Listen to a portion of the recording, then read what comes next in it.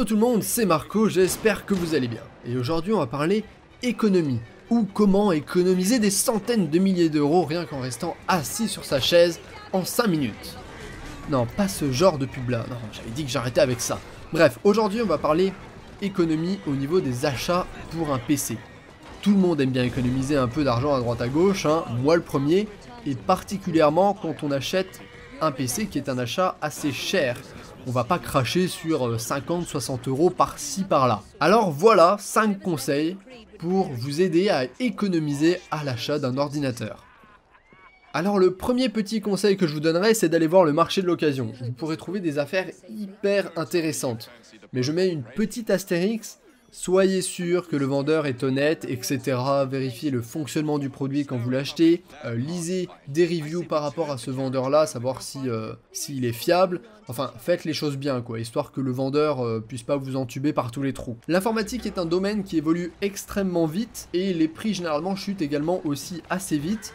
surtout, n'hésitez pas au niveau de l'occasion à regarder les composants des générations précédentes, surtout si vous avez un budget serré. Vous pourrez trouver des i5 Sandy Bridge, donc par exemple les i5 2700K ou les 2500K, et vous aurez un bon i5 pour aller 100, 110 euros, qui euh, sera encore très très bien et qui tiendra très bien la route pour jouer. Et ça va être exactement pareil pour les cartes graphiques. Ok, ça serait top, ça serait génial si vous pouviez acheter une R9 390. Mais si vous n'avez pas assez de sous, vous pouvez également chercher des Radeon HD 7870 ou 7950. Et pour 100 euros ou 120 euros, vous auriez une bonne carte pour jouer au MOBA en 1080p, pour jouer à CSGO, pour jouer à LoL, pour jouer à Dota, etc. Donc surtout, si vous avez un budget serré, n'hésitez pas à aller voir le marché de l'occasion, le Bon Coin, eBay et tous les trucs comme ça. Le deuxième conseil que je vous dirais, c'est si vous achetez du neuf au niveau des cartes graphiques, essayez d'acheter des GPU avec des bundles de jeux, même si vous ne voulez pas les jeux. Si vous les voulez, tant mieux, gardez-les, vous allez économiser 40 ou 60 euros sur l'achat d'un jeu. En ce moment, par exemple, Nvidia vous offre soit Rainbow Six Siege, soit Assassin's Creed Syndicate. Eh bien, si vous ne voulez aucun des deux, vous pouvez juste récupérer la clé et vendre votre clé. Vous avez acheté une 970 à 325 euros, vous pouvez sûrement vendre Assassin's Creed Syndicate pour 40 euh, euros. Et boum, votre 970 vous est revenu à 285 euros. Ce qui est quand même plutôt pas dégueu et vous venez d'économiser 40 euros. Troisième point pour économiser, recycler vos composants. Et non, je me suis pas mis dans l'optique euh, COP21, on va tout recycler, etc. Non, non, ce que j'entends par là, c'est de réutiliser d'anciens composants. Vous pouvez certainement réutiliser d'anciens trucs, par exemple récupérer les disques durs euh, de votre vieux PC familial qui traîne dans le salon, dont plus personne ne sert et qui ne marche quasiment plus. Il a peut-être un disque dur qui est encore viable. Vous pouvez peut-être même récupérer son écran également. Vous pouvez récupérer pas mal de choses comme ça d'un PC à un autre. L'alimentation, le boîtier. Un de vos potes peut avoir un ancien PC avec un bon boîtier euh, qui traîne dans son garage que vous pouvez récupérer. C'est pas comme si le boîtier c'était un truc essentiel euh, dans votre build. C'est pas comme si euh, un meilleur boîtier allait vous faire gagner en performance. Non. du coup, un boîtier qui sera convenable, même s'il n'est pas neuf, bah, suffira largement. Il y a plein de choses que vous pouvez récupérer comme ça. L'alimentation, la RAM, un écran, un clavier, une souris, les disques durs. Voilà. Plein de petits trucs qui peuvent, qui peuvent vous permettre d'économiser pas mal au final. Quatrième conseil, étudier le concept de performance par prix. Dans le monde du PC, il faut savoir qu'il y a une zone de meilleure rentabilité, de meilleure efficacité pour les composants.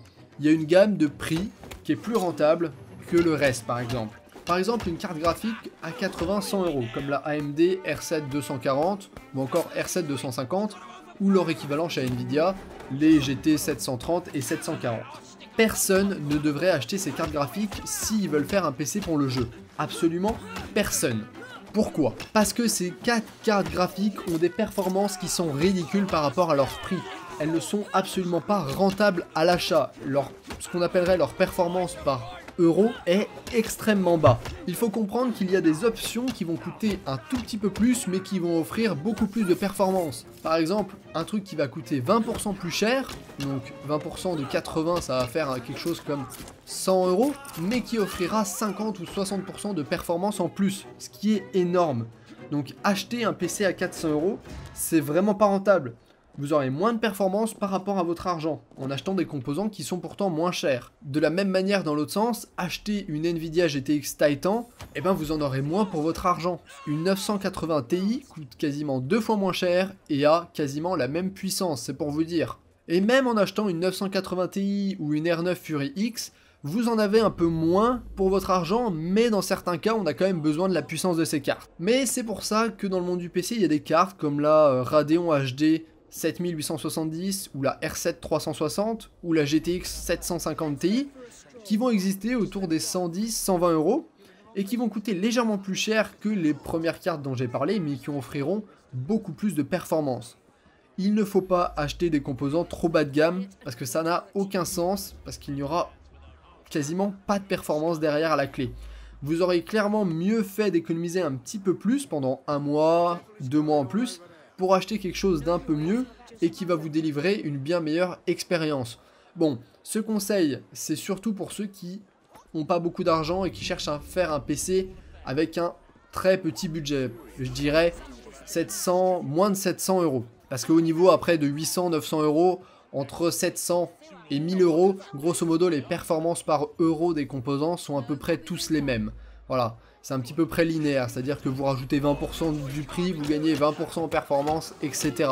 Mais c'est vraiment au début, au début quand, quand, on cherche dans tout ce qui est vraiment cheap, et à la fin quand on va vraiment dans les extrêmes au niveau des Titans, que les performances par euro sont vraiment euh, extrêmement faibles et que ça ne vaut pas le coup d'acheter de tels composants. La dernière chose que je vous dirais, le dernier euh, petit conseil, donc le cinquième, c'est de vous tenir au courant des promos sur tous les sites marchands informatiques comme LDLC, Material.net, Amazon, etc. Ça vous permettra d'économiser par exemple 5% sur votre commande totale, d'avoir 7% sur votre carte graphique, d'avoir la livraison gratuite, de gagner 50 euros des 600 euh, euros d'achat par exemple. C'est plein de petits trucs comme ça qui peuvent au final ben, vous faire économiser un petit peu plus sur l'achat euh, de votre PC. Et donc du coup je vous conseille de vous abonner euh, à 2-3 euh, newsletters avant de vouloir acheter votre PC ou quand vous vous dites vas-y je vais bientôt changer de PC, abonnez-vous peut-être à 2-3 newsletters de sites comme LDLC, etc. Euh, histoire d'être au courant des promos qu'ils font et de pouvoir par exemple sauter sur une hyper bonne occasion, genre ah, un SSD moitié prix, hop, clairement, si vous en avez besoin vous pouvez l'acheter. Et bah voilà, c'est tout pour cette vidéo, j'espère qu'elle vous aura plu, n'hésitez pas à laisser vos questions en commentaire, vos réactions, etc. Et bien sûr, likez si vous avez liké, dislikez si vous avez disliké, partagez si vous pensez que ça peut être utile à quelqu'un d'autre. Et comme d'habitude, moi je vous dis à ciao, bonsoir.